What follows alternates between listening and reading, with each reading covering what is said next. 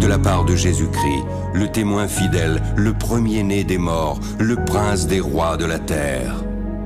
À celui qui nous aime, qui nous a délivrés de nos péchés par son sang, qui a fait de nous un royaume, oui, je viens bientôt. Que la grâce du Seigneur Jésus soit avec tous.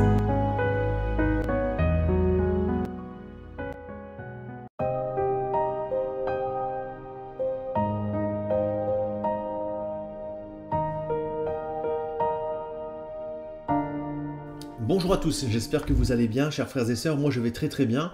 Gloire à Dieu et merci Seigneur. Voilà, aujourd'hui, nous, nous, allons nous retrouver sur une nouvelle vidéo. Aujourd'hui, nous allons parler, eh bien, tout simplement de la famille. La famille qui est, quelque chose de très très important selon la parole du Seigneur. Nous allons voir donc aujourd'hui quatre versets qui nous parlent euh, de la famille et comment nous devons nous comporter, les avertissements également que Dieu nous donne si nous avons un mauvais comportement avec la famille. Alors, c'est une vidéo que j'ai faite parce que j'ai beaucoup de témoignages et beaucoup de choses qui se passent autour de moi concernant la famille, que ce soit avec les frères, les sœurs, la, femme, euh, donc mari et femme, euh, les grands-parents.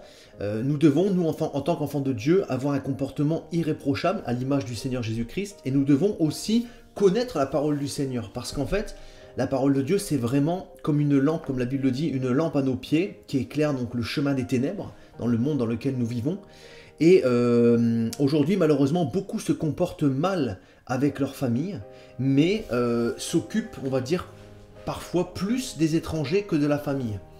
Euh, et également, alors je parle de la famille qui est à moitié convertie ou de la famille qui n'est pas du tout convertie.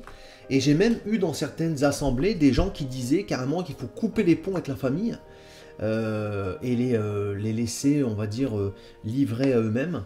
Alors, on va voir déjà des versets qui nous montrent que Dieu accorde énormément d'importance à la famille, et je dirais que Dieu accorde plus d'importance au comportement que vous aurez avec votre famille avant celui que vous aurez pour les autres.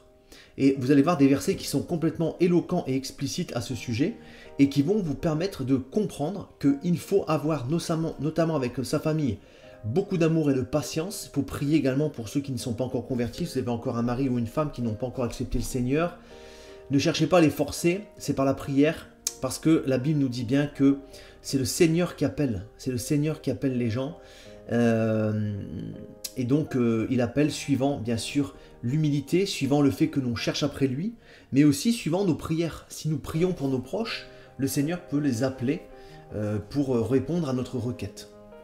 Donc déjà la chose qui est importante, c'est d'éviter les querelles, d'être patient et rempli d'amour pour ceux qui parfois nous envoient promener dans notre famille, que ce soit notre épouse, notre mari, nos enfants, notre grand-mère, notre grand-père. Euh, parfois les gens ne sont pas encore touchés par le, Seigneur. Moi je peux vous donner certains témoignages. J'ai usé de patience avec notamment mon frère, euh, auquel j'ai prêché pendant presque deux années la parole du Seigneur. Donc je lui parlais des merveilles que Dieu a accomplies dans ma vie, de la relation que j'avais avec lui. Euh, je lui parlais également du salut, de son âme. Je lui parlais de toutes ces choses merveilleuses que je pouvais lire dans la parole de Dieu. Et c'est simplement deux ans plus tard qu'il a accepté le Seigneur et qu'il a complètement changé de vie. Euh, j'avais aussi pas mal prié pour lui, j'ai prié également pour ma famille.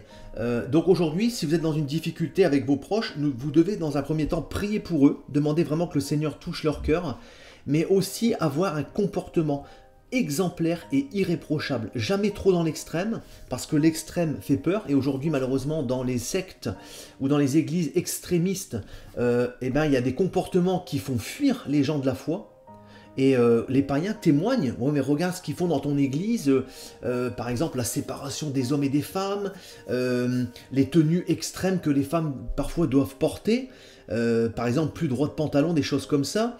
Donc en fait, on, on, choque déjà les gens avec de tels comportements. Et c'est pas, c'est pas en fait, le, Seigneur Jésus, c'est la liberté, c'est l'amour. Bien sûr, il ne faut pas faire de cette liberté un prétexte pour faire n'importe quoi, comme la Bible le dit, mais nous devons bien comprendre que les gens observent, que ce soit les membres de notre famille ou les païens ou les athées, observent notre comportement. Donc il faut en tout point que notre comportement soit irréprochable. Ce premier verset, nous allons le lire vraiment de façon très claire dans 2 Timothée chapitre 2 versets 24 à 26. Ce passage, vous allez voir, vous parle de choses qui sont très importantes.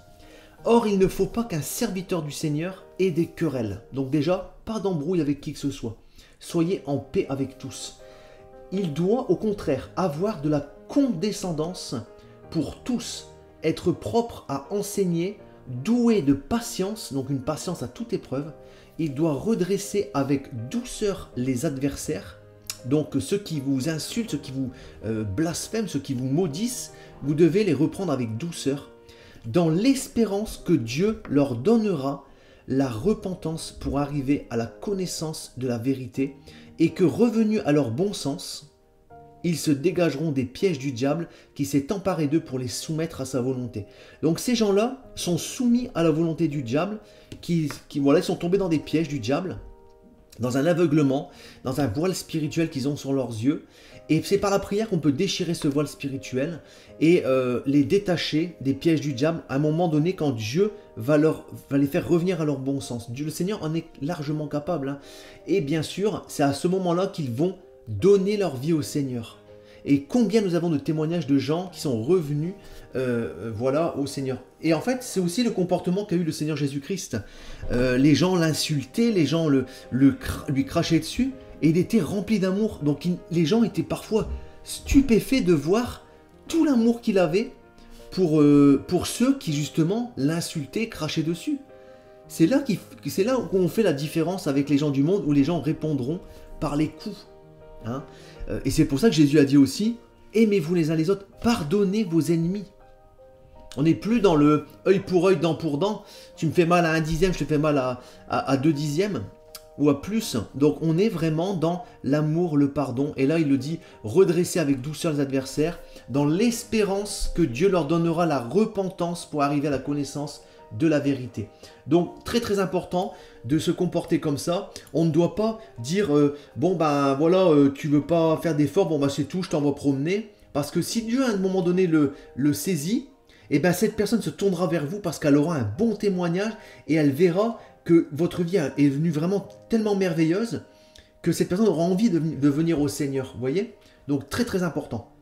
Après, on a plein de passages dans la parole du Seigneur, comme dans Josué 24, 15, où ça nous dit Moi et ma maison, nous servirons l'Éternel. Donc Josué ne parle pas seul, il parle de lui-même, avec sa maison, avec sa femme, ses enfants. Donc il, ne voulait pas servir le Seigneur seul, donc ne partez pas en, cavalier solitaire, servez le Seigneur avec votre entourage, avec vos proches, déjà prioritairement. Le Seigneur Jésus a donné l'accent sur l'importance de la famille. Donc il est très très important de euh, servir le Seigneur avec ses proches. Ensuite, nous allons lire deux passages également, vraiment très très importants dans, Timothée. Ensuite, nous pourrons regarder une, une négation que bah, les sectes, les gens euh, euh, qui ne sont pas justement pour ces versets de la famille vont pouvoir utiliser afin de dire qu'on doit envoyer promener ceux de sa famille. Euh, donc 1 Timothée 5, 4, et après nous irons voir 1 Timothée 5, 8. Donc 1, Timothée 5, 4 nous dit quoi? Si une veuve a des enfants ou des petits-enfants, donc là on peut parler d'une personne qui a perdu son mari, donc euh, un monsieur ou une dame, hein, qu'ils apprennent avant tout à exercer la piété envers leur propre famille et rendre à leurs parents ce qu'ils ont reçu d'eux, car cela est agréable à Dieu. Alors qu'est-ce qui est agréable à Dieu? Eh bien c'est que les enfants ou les petits-enfants d'une veuve ou d'un veuf euh, apprennent à exercer l'amour envers leur propre famille, envers leurs parents, envers leurs enfants. Donc c'est réciproque, il doit y avoir un amour réciproque, mais même si l'amour n'est pas présent, eh bien allez aussi témoigner l'image de Christ, vous qui êtes peut-être plus avancé dans la foi. Si la personne n'est pas encore transformée à 100%, j'ai malheureusement un exemple dans ma famille, nous devons être des modèles pour lui. Nous devons lui parler du Seigneur. Nous devons aussi parfois lui dire que ce qu'elle fait n'est pas bien. Donc nous devons toujours être à l'image de Christ. Et c'est comme ça que nous gagnerons le cœur de notre famille. Et regardez maintenant un avertissement du Seigneur qui est extrêmement clair également. 1 Timothée 5.8. Si quelqu'un n'a pas soin des siens, donc là on parle, et là le Seigneur nous rajoute, donc pas soin des siens, et principalement de ceux de sa famille. Donc là, on parle pour tous ceux qui envoient promener les gens de leur famille, qui se focalisent sur les étrangers avant la famille. Donc si on n'a pas soin d'eux, si on ne va pas leur rendre visite, si on ne prend pas soin d'eux, si on n'est pas patient, si on ne témoigne pas de l'amour comme on a pu voir dans 1 Timothée 5.4, il a renié la foi, il est pire qu'un infidèle. Dieu ne tolère pas de tels comportements. Parce que comment voulez-vous avoir un bon témoignage si autour de nous, nous nous comportons mal avec notre propre famille. Et je vais vous donner un exemple qui est très concret. J'ai euh, ben, malheureusement euh, vu de mauvais, de mauvais comportements avec les gens de, la famille de quelqu'un. Et en fait, cette personne, euh, ces personnes, bon, voilà, c'était des gens qui étaient dans la foi et d'autres personnes de la famille qui n'étaient pas dans la foi. Donc les gens dans la foi avaient un petit peu renié leur famille, se comportaient pas toujours bien, manquaient aussi d'amour et de rendaient pas souvent visite. Et en fait, euh, ils, voilà, ils prêchaient donc aux autres, ils vivaient leur foi dans leur coin et aussi avec leur assemblée. Et en fait, j'ai euh, pu discuter avec le voisinage qui a rendu un témoignage, mais franchement, extrêmement triste de, euh, de, de, leur comportement en fait. Déjà, les, voisins ne comprenaient pas pourquoi ils n'avaient plus rendre visite. Euh, voilà, et puis bon, bah, même la, personne, les personnes âgées se, plaignaient en fait hein, du fait que bon, bah, c'était tout pour les autres et rien pour, pour la propre famille. Donc là, on est vraiment dans ce contexte-là en fait. Et euh, la Bible nous dit, il a renié la foi, il est pire qu'un infidèle. Donc c'est pire, c'est pire que quelqu'un qui n'est pas fidèle à Christ. Vous imaginez comment Dieu voit ça? C'est catastrophique, hein. c'est vraiment catastrophique. Donc ayons soin de notre famille en tout lieu, tout temps, toute occasion, parce que c'est vraiment, vraiment très, très important. Maintenant, nous allons lire un passage euh, donc, que nous allons, nous allons pouvoir retrouver dans la parole du Seigneur, que justement, comme je vous disais, les, sectes ou ceux qui sont pour l'abandon de la famille vont pouvoir utiliser. Et ils vont l'utiliser à leur propre avantage. Par exemple, pour avoir une emprise sur vous, pour euh, voilà, pour euh, vous concentrer sur euh, l'assemblée, par exemple, hein, en, délaissant votre famille. Mais on a vu que celui qui ne prend pas soin de sa famille, la Bible dit, il est pire qu'un infidèle et il a renié la foi. Donc, ils vont se servir, ils vont mettre ce passage de côté que je viens de vous dire, mais ils vont se servir de Matthieu 10, 34 à 38 pour dire que non, regardez, Jésus est venu apporter la division. Donc divisez-vous de, vos femmes, de vos enfants, de vos parents. Et en fait, ce verset est complètement sorti de ce contexte. Donc aujourd'hui, on va le lire et on va revenir dans le contexte de base. Ne croyez pas que je sois venu apporter la paix sur la terre. Donc là, on parle de Jésus, bien sûr, hein, c'est Jésus qui parle. Je ne suis pas venu apporter la paix, mais l'épée. Donc l'épée, c'est les querelles, les disputes, les divisions.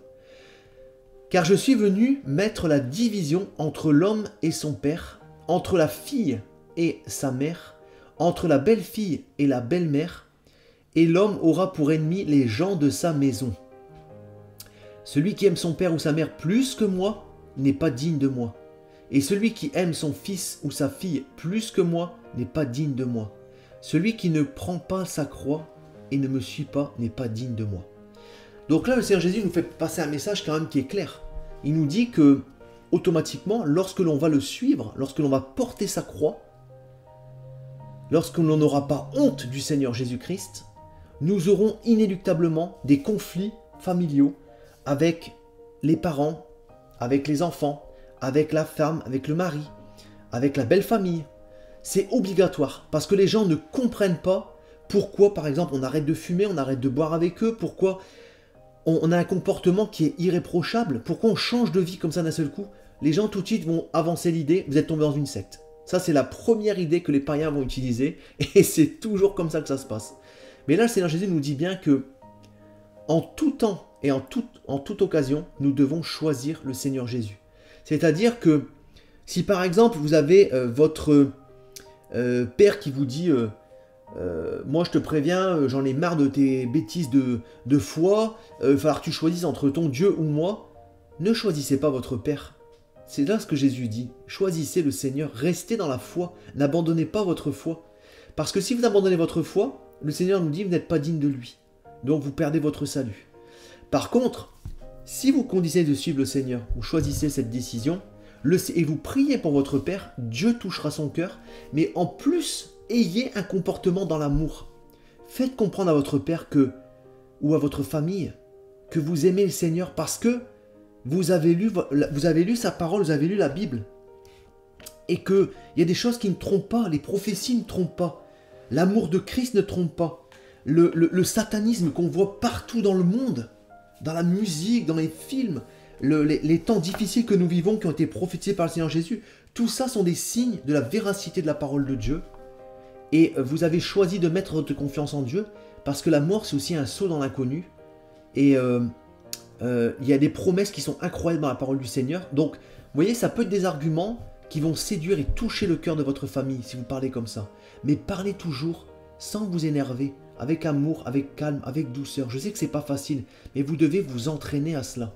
Le Seigneur Jésus l'a dit, vous devez prier que le Saint-Esprit vous guide et vous devez avoir cet amour. Vous n'êtes pas seul, Dieu est avec vous. Donc si Dieu est avec vous, qui sera contre vous? Dieu est à vos côtés à chaque instant. Donc ce passage ne nous dit pas d'abandonner ceux de notre famille. Ce passage nous dit que automatiquement vous aurez des conflits, des conflits qui vont naître. Et euh, le Seigneur nous montre en complément de ce passage, c'est pour ça que je dis toujours qu'il faut prendre la Bible dans sa globalité, vous avez ce passage qui peut être sorti de son contexte et dire voilà, il faut abandonner sa famille, alors qu'on l'a très bien vu, ce passage explique clairement qu'il y aura malheureusement des divisions et que vous devez toujours garder la fermeté dans votre foi et que vous devez choisir le Seigneur si on vous met au pied du mur. Mais par contre, sachez que parfois, c'est des pièges que le diable utilise. Le diable va pousser quelqu'un de votre famille à dire Ouais, si tu, si tu suis ton Dieu, je te préviens, je te parle plus. Mais ce sont des leurs. Parce que bien souvent, ce n'est que passager. Et c'est parfois aussi par là que le Seigneur éprouve votre foi et voit si vous êtes digne de lui. Moi, je me souviens, j'ai saoulé ma femme avec euh, la Bible, avec. Je m'en fichais que qu'on aille au conflit. Je, je lui disais, écoute, moi j'ai lu, je vois des choses, regarde ce qui se passe. On parlait et ma femme, en fait, a commencé à chercher et elle a été touchée par le Seigneur. J'ai prié pour elle. Je ne dis pas que ça se passe toujours aussi bien, mais ayez de la douceur et faites attention comment vous parlez. Parfois, les paroles sont pires que des coups de couteau. Donc, ayez vraiment de la douceur, de la charité, comme Paul le dit dans Timothée. Vous voyez, on peut prendre donc ce passage et Timothée qui nous dit de prendre soin des siens et principalement de ceux de sa famille. Et euh, également, Timothée nous dit que euh, il faut redresser, euh, voilà, avec douceur. Il faut être patient, être propre à enseigner, doué de patience, comme on a vu dans 2 Timothée 2, 24 à 26. Parce qu'à un moment donné, les pièges que le diable a semés dans la vie de vos proches vont être détruits par votre prière. Dieu va les détruire quand il va voir justement votre, votre, quand vous servirez vraiment le Seigneur avec ardeur et que vous êtes, vous tenez bon dans la foi. Donc pensez à tout cela, chers frères et sœurs, prenez toujours la Bible dans l'ensemble des choses, euh, parce que vous voyez, on peut prendre un passage, dire qu'il faut abandonner sa famille, pourtant dans notre passage, la Bible nous dit que celui qui renie sa famille est pire qu'un infidèle. Donc quand on prend les deux, on se rend compte que on choisit toujours Christ, mais on doit aussi être présent pour notre famille avant d'aller prêcher aux autres. Il faut commencer par évangéliser notre propre famille, avoir un comportement irréprochable, afin que les gens du monde voient briller notre splendeur déjà dans notre famille. Et la Bible va même plus loin pour ceux qui servent le Seigneur, les grands serviteurs de Dieu, les pasteurs par exemple. Et bien en fait, quel témoignage rendons-nous si notre famille se comporte mal et qu'on va commencer à prêcher Ils vont dire, bah, en fait ce pasteur il n'est même pas capable de tenir sa famille, de faire ce qu'il faut, et pourtant il s'en va prêcher aux autres. Donc on a déjà un mauvais témoignage. Donc vous voyez, prenons vraiment la parole de Dieu dans sa globalité, très très important, et euh, euh, soyons patients avec notre famille. Voilà, je prie vraiment, et je prie pour euh, tous mes abonnés, tous ceux qui regardent la, mes vidéos, que le Seigneur vraiment vous aide, et que le cœur de tous vos proches qui sont encore prisonniers du malin soit brisé par le, le feu puissant du Saint-Esprit. Que vraiment tous les liens spirituels, les chaînes, soient détruites dans le nom de Jésus-Christ maintenant, et que vos proches et le voile sur leurs yeux brûlés également par le feu du Saint-Esprit, qu'ils puissent revenir à leur raison, qu'ils se détachent des pièges du diable, et que le Seigneur leur fasse grâce de leur révéler la splendeur de l'Évangile au nom de Jésus-Christ. Voilà, chers frères et sœurs, persévérez, ne baissez pas les bras, soyez remplis d'amour, de patience, et n'oubliez pas que Dieu regardera et jugera également le comportement que nous avons eu, non seulement avec nos frères et sœurs d'assemblée, mais aussi en priorité, comme la Bible dit, avec nos familles, nos propres familles. Si j'ai un conseil à vous donner, c'est revêtez-vous de toutes les armes spirituelles. Formez-vous dans votre coin. Si par exemple votre conjoint, votre, votre épouse ne veulent pas, eh ben, formez-vous dans votre coin. Prenez toutes les armes qu'il y a dans la parole du Seigneur notamment ben, l'enseignement. Apprenez un petit peu également sur les prophéties. Et comme ça, vous pourrez répondre aux questions de votre proche en complément des prières. Et c'est ainsi que vous pourrez toucher son cœur. Voilà, mais surtout, il va falloir être patient et euh, être à l'image de Christ, tout simplement. Très bonne journée à vous, chers frères et sœurs. Soyez bénis. Tout pouvoir m'a été donné dans le ciel et sur la terre. Il y a plusieurs demeures dans la maison de mon Père. Si cela n'était pas, je vous l'aurais dit, je vais vous préparer une place. Et lorsque je m'en serai allé et que je vous aurai préparé une place, je reviendrai, et je vous prendrai avec moi, afin que là où je suis, vous y soyez aussi. Vous savez où je vais, et vous en savez le chemin. Je suis le chemin, la vérité et la vie. Nul ne vient au Père que par moi. Abraham, votre Père, a tressailli de joie de ce qu'il verrait mon jour. Il l'a vu, et il s'est réjoui. Si vous me connaissiez, vous connaîtriez aussi mon Père, et dès maintenant vous le connaissez, et vous l'avez vu. Et je vous le dis, avant qu'Abraham fût, je suis.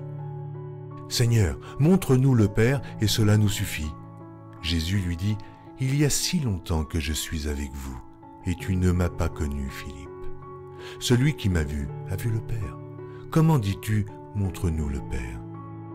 Cette bonne nouvelle du royaume sera prêchée dans le monde entier pour servir de témoignage à toutes les nations.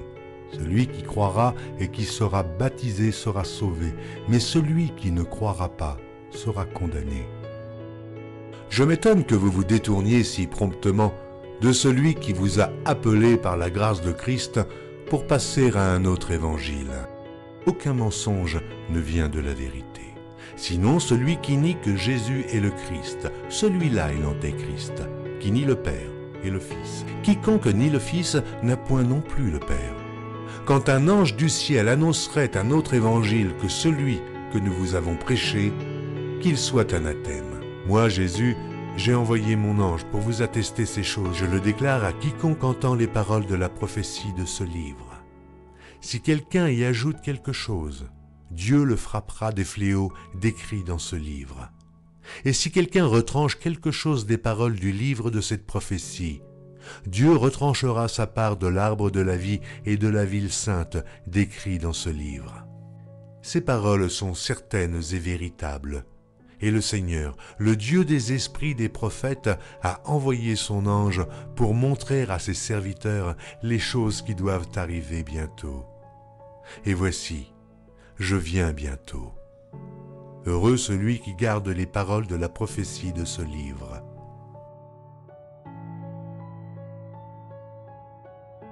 Voici, il vient avec les nuées, et tout œil le verra, même ceux qui l'ont percé. Et toutes les tribus de la terre se lamenteront à cause de lui. Oui. Amen. Je suis le rejeton et la postérité de David l'étoile brillante du matin. Je suis l'alpha et l'oméga, dit le Seigneur Dieu, celui qui est, qui était et qui vient, le Tout-Puissant, le premier et le dernier, le commencement et la fin.